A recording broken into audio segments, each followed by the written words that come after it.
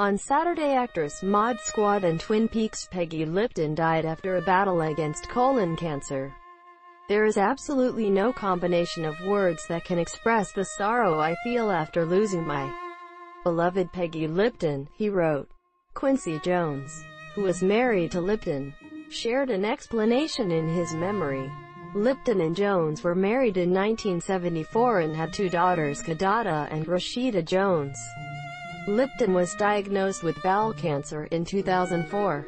Regardless of how our lives have evolved, I can say with the utmost certainty that love is eternal. Find your full note below. The Jones family encourages people to make a donation to the Seasons Hospice. One of Lipton's most memorable roles was the double R for Twin Peaks. The restaurant owner, Norma Jennings. She was 72 years old.